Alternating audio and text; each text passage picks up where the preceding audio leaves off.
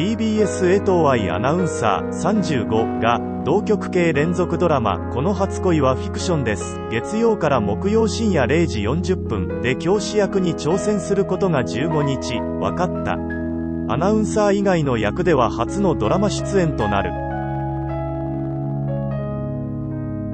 同作は TBS スター育成プロジェクト「私が女優になる日アンダーバー」の演技バトルで1位に輝いた飯沼愛が主演を務める青春群像ラブストーリー。同プロジェクト番組の MC を務めメンバーたちを優しく見守ってきた江藤アナ。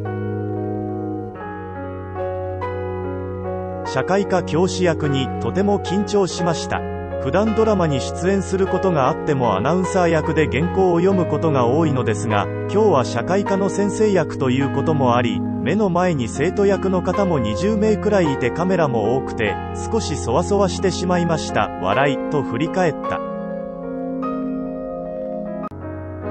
飯沼からはお母さんみたいな存在で会うと安心しますと言われたといいずっとみんなのことを娘のように思って母のような気持ちで応援していたのでとても嬉しかったです。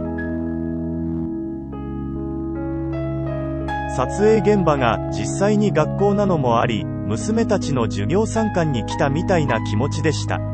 自身は20日放送回から登場するというが今まで演技バトルでは見られなかった彼女たちの等身大の表情も見られると思いますしのびのび頑張ってほしいですと呼びかけた。同作はプロジェクトの総合プロデューサーを務めた秋元康の企画原案でテレビ朝日系連続ドラマ「おっさんずラブ」シリーズ TBS 系「私の火星夫渚さん」などを手掛けた徳尾浩二氏が脚本を務めるオリジナル作品。